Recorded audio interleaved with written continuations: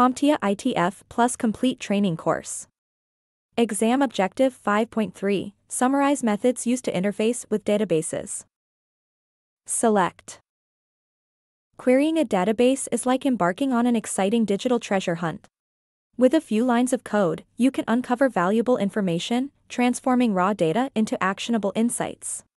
It's the art of exploring vast datasets, discovering patterns, and finding answers to critical questions.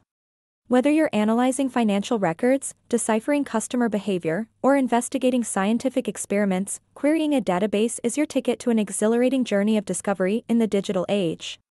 And to set sail on this journey, SQL gives us our most powerful command yet. The select command. A SQL select command is a very special data manipulation language command, as classified by CompTIA, and is used to query or retrieve specific data from a database table. Here's how it works. The SQL query begins with the select keyword, which indicates that you want to retrieve data from a table or tables.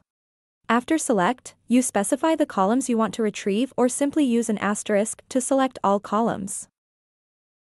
Following the select statement, you use the from clause to specify the table or tables from which you want to retrieve data. This clause tells the database where to look for the information you want. Then we have an optional, where clause.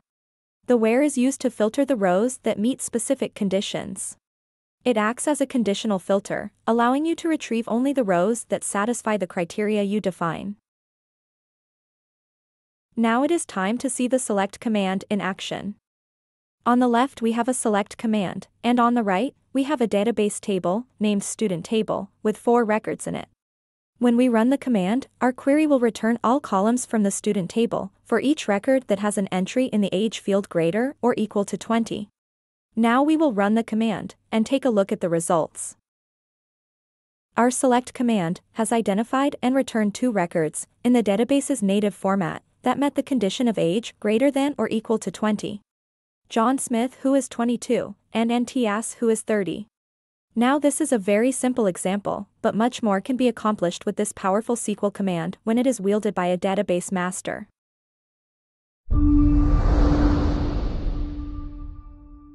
Thank you for watching.